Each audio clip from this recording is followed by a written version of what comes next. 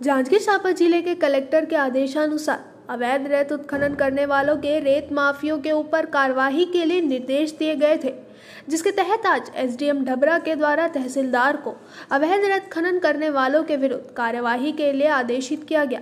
आज इसी कड़ी में ढबरा थाना क्षेत्र के अंतर्गत ग्राम पंचायत खुरघट्टी के महानदी के घाट से अवैध रूप से रेत उत्खनन के लिए नदी में चार ट्रैक्टर में रेत भर रहे थे।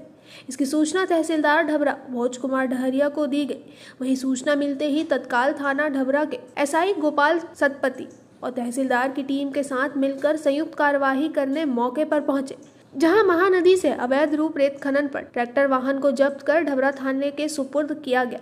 कलेक्टर साहब के निर्देश था कि अवैध रूप से जो रेत उत्खनन किया जा रहा है, उस पर नियंत्रण किया जाए। और कार्रवाई की जाए। इसी तारतम्य में आज एसडीएम साहब के मार्गदर्शन पर पुलिस विभाग और राजस्व विभाग का संयुक्त दल हमारे डबरा क्षेत्र में विभिन्न रेत खदानों पर की जा रही परिवहन का कार्यवाही किया गया और इसमें चार ट्रैक्टर हमको अवैध रूप से रेत उत्खनन करते हुए पाया गया। उन चारों ट्रैक्टरों को जब्त कर थाना डबरा के सुपुर्द किया गया है। आगे कार्यवाही के लिए जिला कार्यालय भेजा जा रहा है। टीसीपी 24 न्यूज़ के लिए जांजगीर चांपा से लाला उपाध्याय की रिपोर्ट।